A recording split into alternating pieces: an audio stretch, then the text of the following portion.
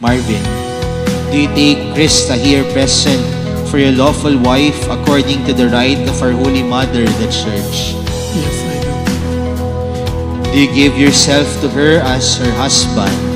Yes, I do. Do you accept her as your lawful wife?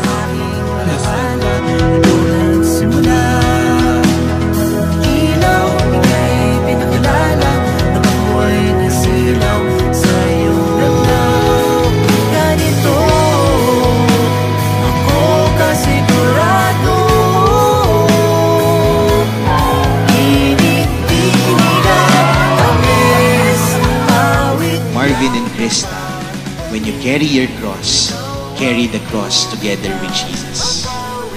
Put Jesus in the center of your life. You will be making a family soon. At sabi nila, ang buhay din ng buhay pag-aasawa, hindi naman daw talaga nagsisimula yan sa araw ng kasal. eh. Alam niyo daw kung kailan siya nagsisimula? When you start to remove your wedding dress. Bakit? Doon nyo na makikita yung mga kahinaan ng bawat isa.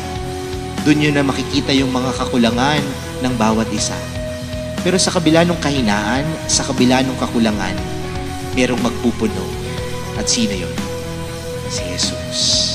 It is Jesus who would fill that limitations, who would fill that weaknesses that you have.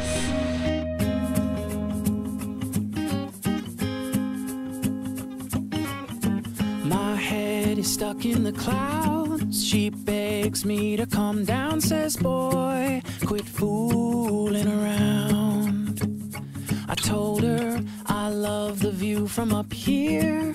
Warm sun and wind in my ear will watch the world from above as it turns to the rhythm of love. We may only have tonight. But till the morning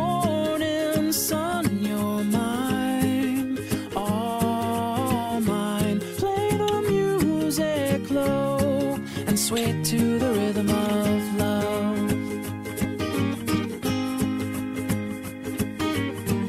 My heart beats like a drum, a guitar string to the strum, a beautiful song to be sung. She's got blue eyes deep like the sea that roll back when she's laughing at me. She rises up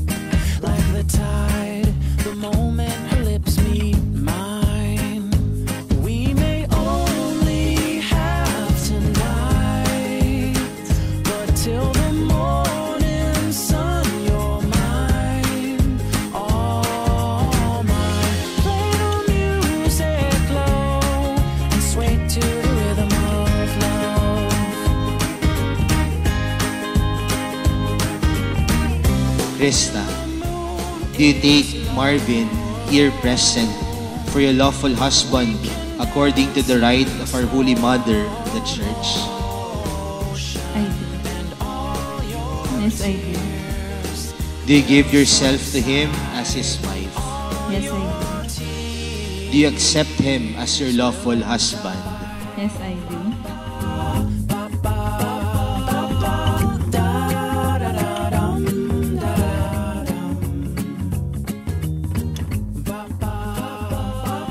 Marvin, did you come here of your own free will to bind yourself forever in the love and service of your wife? Yes, Father. We